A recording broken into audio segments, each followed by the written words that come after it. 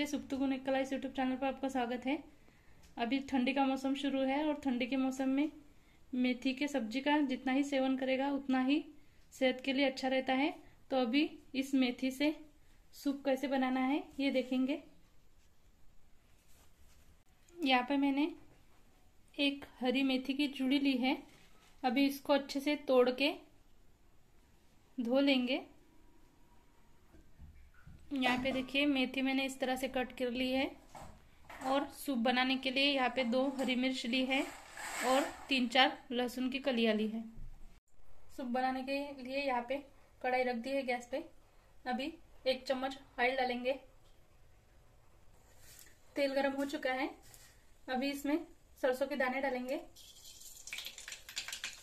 और ये लहसुन और हरी मिर्च इस तरह से बारीक कट कर लिए मैंने। और मिर्ची थोड़ी सी मोटी रखी है कट करके, जो हमें अगर तीखा लगे तो निकालने में आसानी होगी। अभी इसमें तुरंत जीरा ही डाल देंगे और अच्छे से होने देंगे। जीरा की जगह जीरा पाउडर भी यूज़ कर सकते हैं। देखिए, ये अच्छे से हो गया है। अभी इसमें हल्दी ऐड करेंगे। और जो मेथी हमने कट करके ली थी, वो डाल देंगे।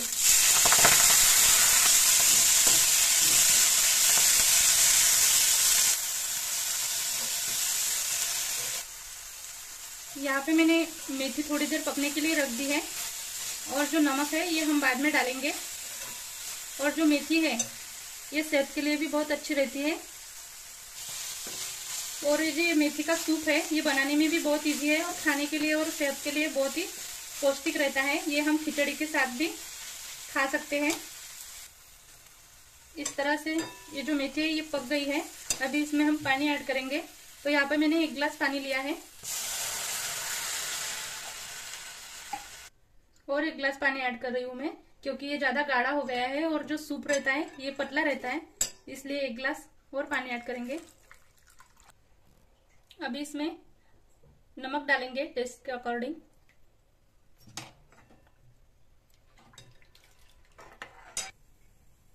अभी सूप को उबाल आने तक पकाएँगे, लेकिन सूप के ऊपर हमें ढक्कन नहीं रखना है, क्योंकि इसका कलर चेंज हो जाता है, और अगर ढक्कन नहीं रखेंगे तो इसका कलर आप देख ही सकते हैं अभी कैसा आएगा तो।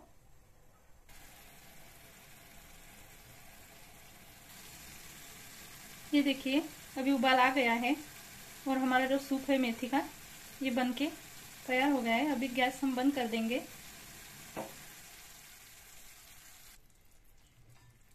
इसको हमने ढककर नहीं रखा था। आप देख ही सकते हैं इसका कलर कैसा आ गया है तो।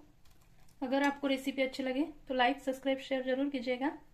और वीडियो देखने के लिए धन्यवाद।